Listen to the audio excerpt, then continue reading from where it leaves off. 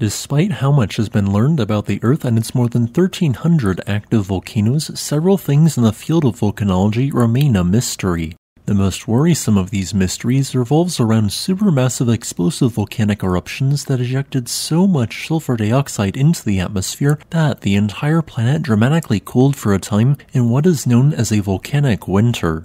While we know which volcanoes caused specific events such as during 1257 and 1815, the location of which volcanoes created massive eruptions in 535, 540, 1458, and 1808 remain a mystery. This is a potential problem, as if we do not know which volcanoes cause these events, potentially millions of people could live next to a volcano that is far more dangerous than is currently modeled, and they would never know. Yet, the effects of these voluminous explosive eruptions span the globe in more ways than one, such as due to the caldera forming eruption of Mount Tambora in 1815. Specifically, in 1815, Mount Tambora in Indonesia produced a catastrophic eruption which caused the previously 4,298 meter tall volcano to collapse into a vast caldera, with this eruption ejecting 120 million metric tons of sulfur dioxide into the atmosphere. This caused worldwide temperatures to drop by 2 degrees Celsius, which, while this might not sound like a lot, simultaneously occurred along with a double digit percentage drop in solar radiation hitting the ground.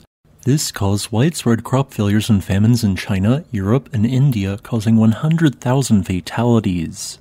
Additionally, when some of these major eruptions occurred, it pushed already strained societies over the edge, leading to destructive wars. This is best shown via the 1783 fissure eruption of the Laki vent of the Grímsvötn volcano in Iceland, which caused widespread crop failures in France and is today listed as a cause of the French Revolution. To me, the most interesting of these mystery eruptions involves a large scale eruption likely twice the magnitude of the 1991 eruption of Mount Pinatubo, which occurred in 1808. And despite how well documented this time period was, we have absolutely no clue which volcano produced such a catastrophic eruption, which was probably 20 times larger than the 1980 eruption of Mount St. Helens. This eruption ejected 19 million metric tons of sulfur dioxide into the atmosphere, causing worldwide temperatures to drop by 0.8 degrees Celsius. The best evidence we currently have to work with regarding this mystery are reports that seemingly indicate that the nation of Peru was the first to see the effects of these aerosols, meaning whatever source the eruption came from had blown sulfur dioxide in that direction.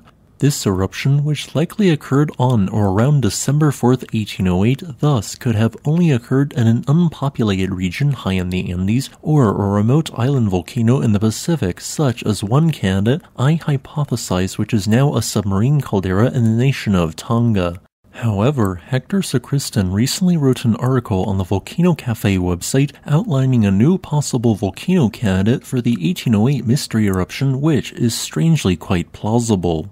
What I am referring to is a remote volcano with next to no literature about it located high within the Andes mountain range within the nation of Bolivia. Known as Tambo Quemado, it is a rhyolitic composition tuff cone. This tuff cone is massive, measuring nearly 380 meters in height and 6 kilometers in length. It contains two large explosion craters, the largest of which is 3,900 meters long and 100 meters deep. Based on the appearance of this volcano, it truly does appear that it only erupted once, meaning everything we see formed as the result of a single massive eruption. Additionally, gray ash rich dunes surround the volcano, occurring up to a distance of 50 kilometers away. This volcano is seemingly in the correct position to have produced the sightings in Peru and thus might be considered as an 1808 mystery eruption candidate. Yet, that is where the supporting evidence ends. Taking into account the size of the tuff cone and the surrounding ash deposits, I estimated a figure of 16 cubic kilometers for the eruption in question, which is a bit too small and sulfur dioxide poor to have created the 1808 mystery eruption. Also, by comparing the sheet of pyroclastic material to two other large Holocene explosive eruptions in the Andes, it appears older than both, suggesting an age older than 2300 BCE. But most importantly, current evidence suggests that whatever volcano produced a large eruption in 1808 must have erupted a composition of andesite. Yet, Tambo Quemado appears to have only ever erupted rhyolite. So, in my opinion, while Tambo Quemado could have theoretically produced the 1808 mystery eruption, I consider it far more likely to have produced a VEI 6 eruption in the early to middle Holocene, so it is probably not the 1808 mystery eruption source. Thanks for watching. If you would like to request a specific topic, please leave a comment below. Additionally, I would like to thank my new patron Judy B. Gardiner for supporting this channel.